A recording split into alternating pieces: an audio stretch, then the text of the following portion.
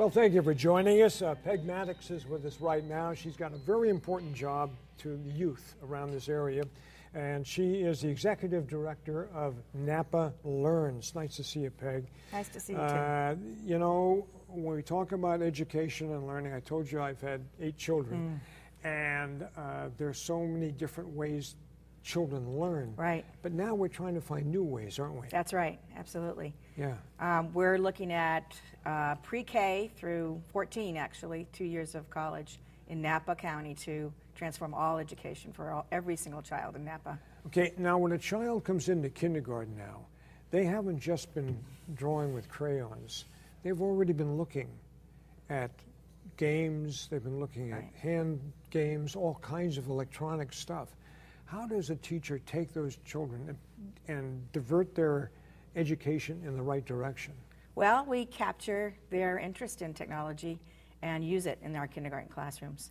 Uh, the challenge is that a lot of kids from poverty don't have those kind of games or technology or even books in their homes, and so that's problem we're trying to solve is um, getting the uh, kids of poverty that are in Napa, and we have about 51%, um, educated before they even come to school to um, be ready to start with all the other kindergartners. Really, that Yeah. higher percentage? It is, but a lot of people don't know that. We have about 80% poverty in uh, Calistoga.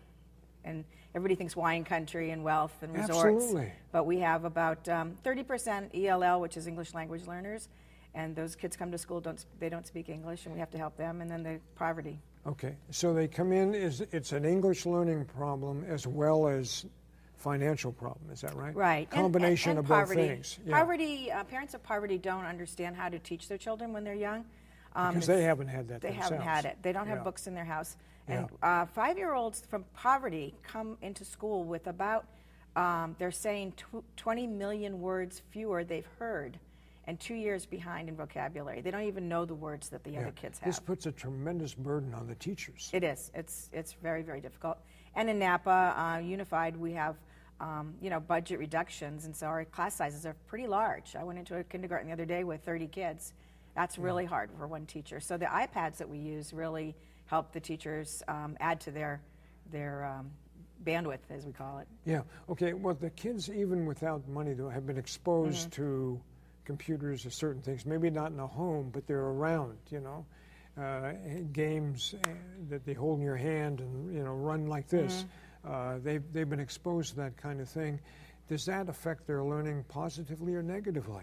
Well, it makes them comfortable with technology. So, of course, you see the, you'll see the little boy in the doctor's office with his mother on her Right, phone, right? absolutely, Yeah, so yeah. they're very comfortable with technology. And we start with four-year-olds in the summer before kindergarten, and they just take off. They love it. Start with four-year-olds. Four-year-olds, preschool. Yeah, yeah. It's amazing what they learn Yeah. at that age. In, in know? fact, the teachers were so surprised, and many of our teachers, kindergarten teachers, weren't really um, accepting of the program. Uh-huh. uh some pioneer teachers did it, and now they we couldn't take the iPads away from them. Now they Okay, love well, it that so puts much. a burden of responsibility on those teachers too. They have to stay on top of it. They have to learn it, right. They have That's to be right. Mm-hmm. technology uh, educated in order to do it. You know. and that's I- part of what we provide is the professional development. Yeah, yeah. Okay, Peg, nice to have you here. Um, Peg Maddocks is our guest, and she is the executive director of Napa Learns. Thank you very much for joining us.